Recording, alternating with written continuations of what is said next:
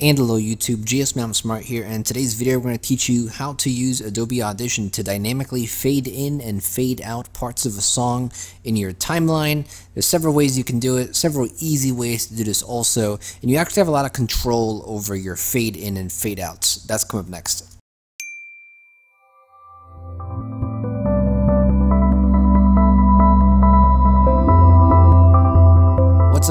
GS Maniam Smart here to another brand new video for Tutorials with GS. Glad to have you, thanks for stopping by and welcome to another video. If you happen to be new to the channel, new to my videos, I want to welcome you as well, and I also encourage you to subscribe to the channel. Plenty of other tutorials on the channel. Lots of audio editing tutorials, video editing tutorials, image editing tutorials. We have tutorials on the Adobe Suite, Photoshop, Premiere Pro, Audition, for free programs even, GIMP, Audacity, Windows Movie Maker, all kinds of cool tutorials. So if you're interested in that, go and hit that subscribe button as well as that post notification bell so you can stay up to date with all the most recent videos. So here we are in Adobe Audition, and I have a popular pop song here by Rihanna. Hopefully YouTube does not copyright me for tutorial purposes. But you'll see that at the start of this song and at the end of the song, there is no real fade in or fade out. If we take a quick listen to the beginning of this, you'll see it actually starts fairly normal.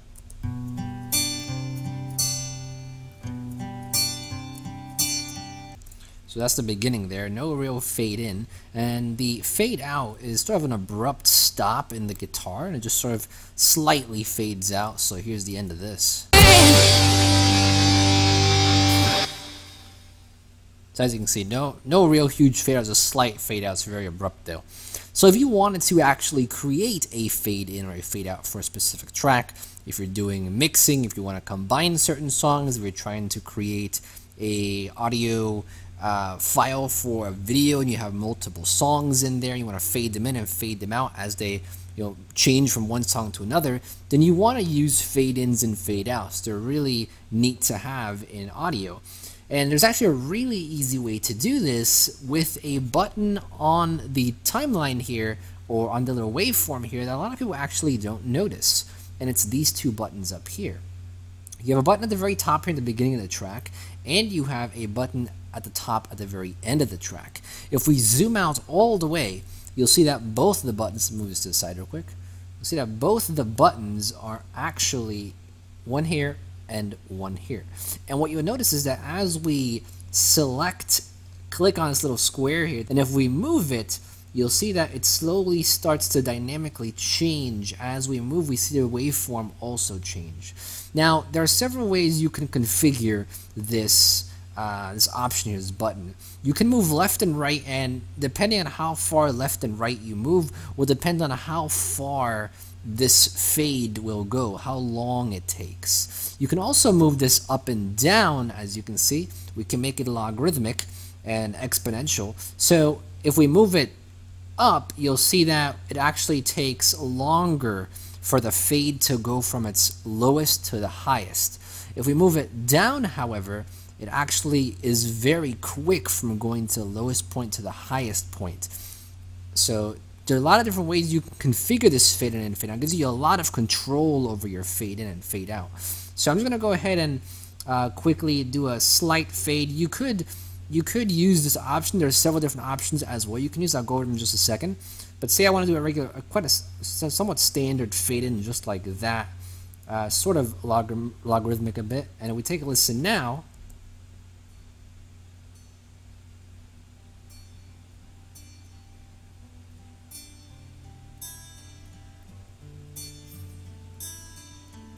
chest to chest, nose to nose. As you can see, slowly it starts getting louder and louder. However, if I wanted to go and you know make this uh, wider, for example, and make this further, you'll see that this takes a lot longer to get louder. It'll start very low and it'll stay at the level for quite a while. As you can see, it's still very low here. We still don't hear it very well. It's still at a very low point, and now it starts to actually gain volume. So you have a lot of control over your fade in and fade out with these two buttons here. And you could very easily do a fade in here, and then you can go to your very end and you can do a fade out uh, like maybe something like something like that. And we take a listen to the end here.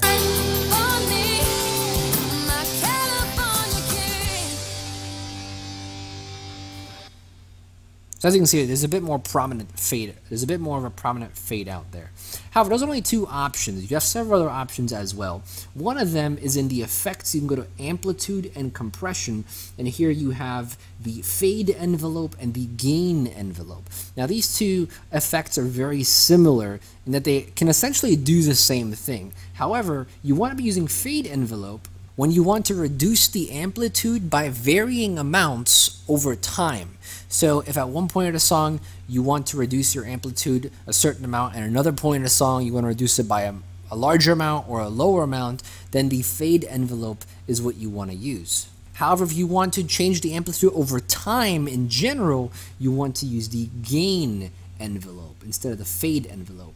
So what you'll see that you can actually add this effect to your entire track. So we go to effects, uh, amplitude and compression, and we go to fade envelope, it actually goes across the entire track here. And there's several pre there's several presets here that you can choose from as well. The one you just saw was the zigzag one. If you go ahead and make a selection, you'll see that this selection actually, uh, you'll see that the effect actually sticks to this selection here. And whatever preset you select here, whatever adjustments you make, will only be towards that selection. And another really cool thing is that you can actually change these points here if you wanted to and create new points and move points that are already on the graph here to different positions as you can see. So you have, you have a lot of more even, you have a lot more control even in uh, certain effects like these right here. And you can see when you press apply, there's some drastic changes here. As you can see, let's, maybe we can play a small portion here.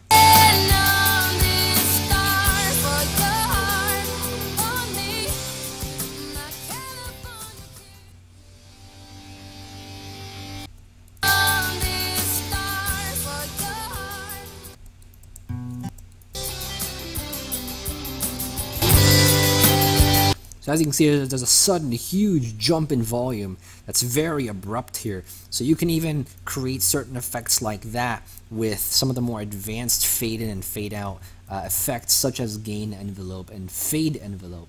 And very similar, the gain envelope does the exact same thing as the fade envelope does, only that it's uh, more general. It doesn't do it by varying amounts, it just does it over time. So if we do something like the gain envelope, and as you can see here, I just messed around a little bit with one of the presets here, so it looks kind of messy. But they also have plenty of presets, and you see a lot of these tend to deal with, in general, over time, the change in uh, amplitude here, rather compared to the fade envelope, which has a bit more a change to it in varying different amounts. So if we go and apply this, you can see that this also changes the way the song looks. It's a bit louder here in this part of the song compared to before and several other presets here as well. And very similarly, you can even create your own presets here and make them uh, however large and small you want.